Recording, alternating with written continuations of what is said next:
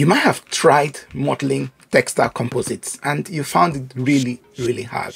I want to tell you that's all right. It's very challenging to model textile or woven composites. And this is why I want to point out to you the reasons why textile composites are very hard to model. And please do hang on to the end where I point out tips to help you to model textile composite easily and effectively. Let's sit back and relax as we get started with this modeling.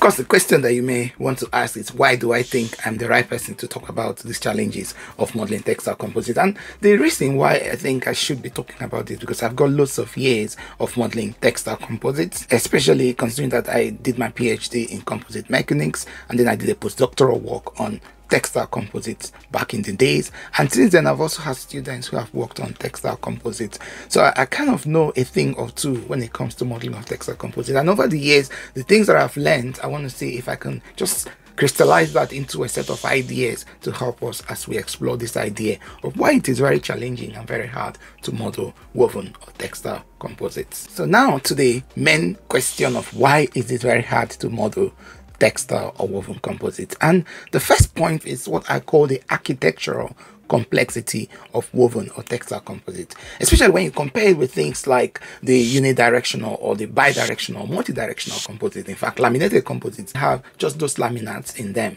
But when you come to dealing with textile or woven composite, there are a lot you have to deal with, beginning with the binder, the weft, and the warp elements and there are different orientations in space. So that topology, the idea of a topology of a textile composite is really, really complicated. And a lot of times when people want to start modeling textile composites, especially from a background in the area of laminated composites, that can be very challenging for them. So that's number one reason why it is very difficult to model textile composites. The second reason is material complexity.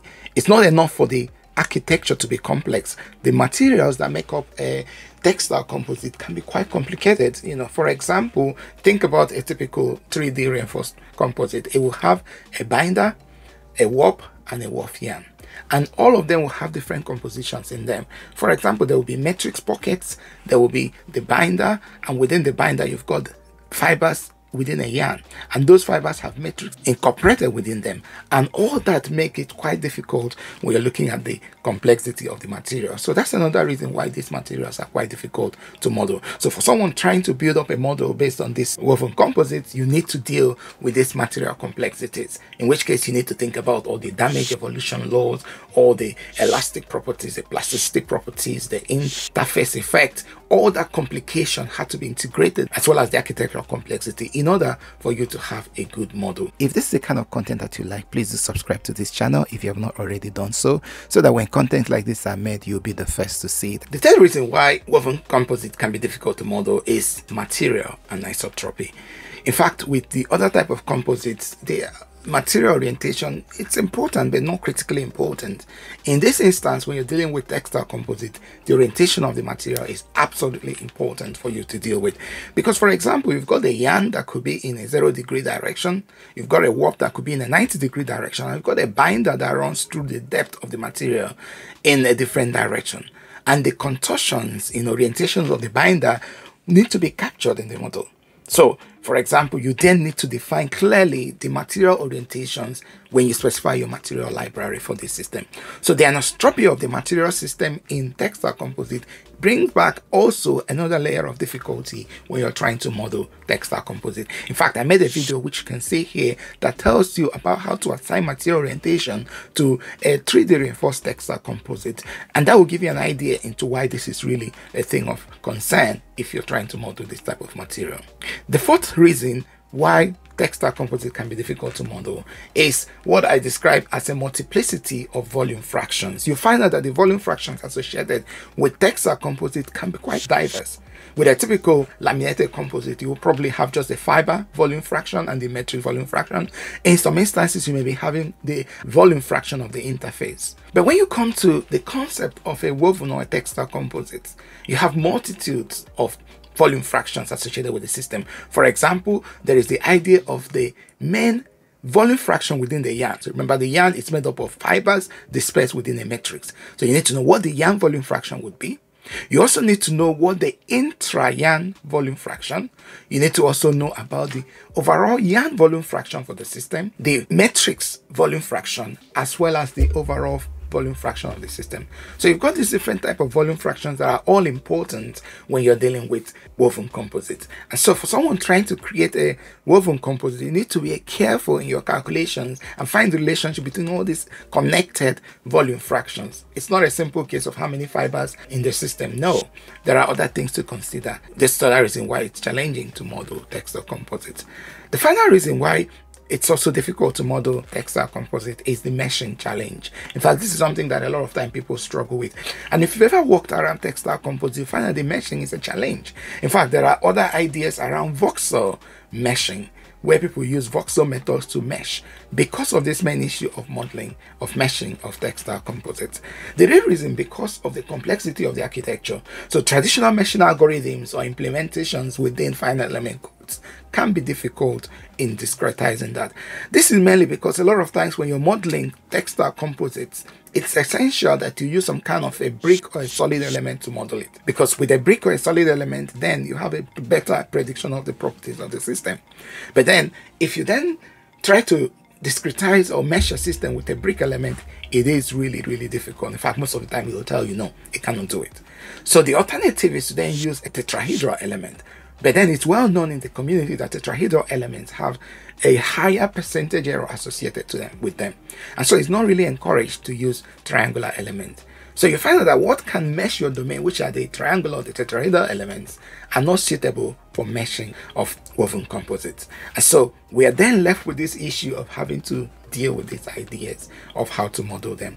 So that's another reason why it can be very challenging to model this. A lot of time we spend time building an excellent model of our textile composite, but when it comes to meshing it, we find that we can't do that. So we end up having a degenerate version of the ori original beautiful model within our mesh system.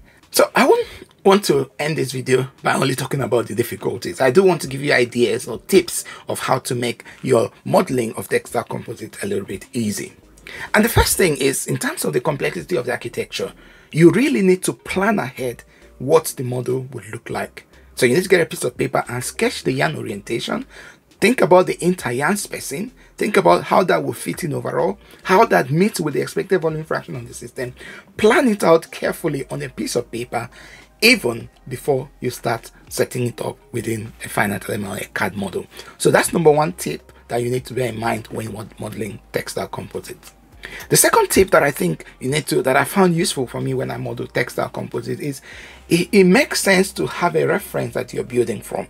So I would typically not start with the matrix. I will always start with the binder arrangement. So I'll sketch the binder, orient it in space exactly how it needs to be. And then from that binder, I'll take my offsets to create the warp and then create the weft if that's what you're working with. If you don't have a binder system, then start with maybe the warp arrangement, sketch it exactly as it should be, then create the model and then take that as an offset as you build the system. So this is the second tip that you need to be aware of. So the third tip that I also have found really helpful when it comes to modeling of textile composite is if you find out that when you create the binder, the weft and the warp arrangement and you and then you immerse it with the matrix, you find out that it can be very difficult for the whole assembly to work. Um, because sometimes there may be connectivities between them and you find that the merging of the model can be difficult. So one of the tricks that I've used in the past that I want to see, I want to tell you is create a much bigger size matrix for your system. Let it be a huge size matrix that kind of buffs the whole binder and weft and warp system together. And assemble and mesh that. When you mesh the whole assembly, it will seem like, oh, you have too much matrix in the system. That's okay. Then once you've created the model, then the next step is to then trim off the matrix, the extra layers of the metrics, so that you have an, a, a, a good structure for your system. So that's the other thing that I would do as a tip. Then with the challenge of meshing, the fourth tip that I would like to, you know, leave with you is the idea that you have to please make sure that you partition the domain.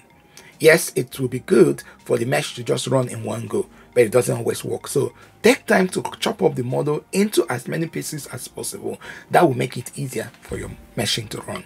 If you run the first time and it says there's a certain section in the domain that is not working, go there and partition those systems again and then run the mesh again until you eventually get an excellent mesh for your model this is one of the way except you use an excellently you know very good meshing algorithm for your system but when you use traditional finite element codes you do need to partition extensively to get a good model then the fifth tip that I want to give to you is the idea that your RVE size doesn't have to be as big as reality.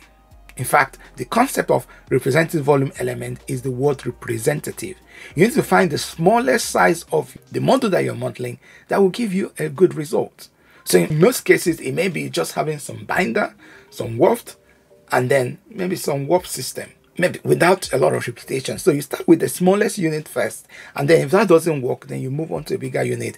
But starting with the smallest RVE size would save you a lot of computational cost, a lot of meshing challenges, and it will make your life very easy. So the smallest RVE size is essential. And then the final tip that I want to give to you also is please remember to assign your material orientation when you're modeling this kind of composite. The orientation of the material is important and like i said the video here will help you to doing this.